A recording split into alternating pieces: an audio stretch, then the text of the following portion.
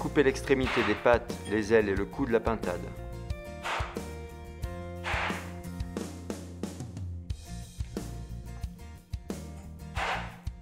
Découpez la peau sur le dos de la pintade. ôtez la peau sans la déchirer en vous aidant parfois de votre couteau.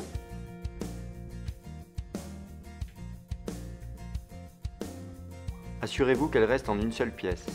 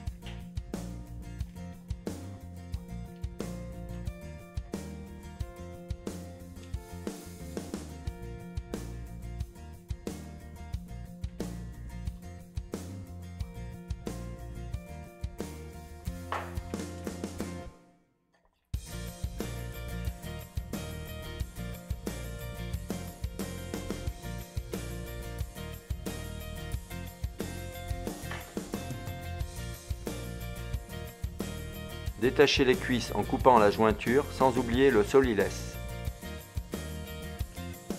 Prélevez les blancs.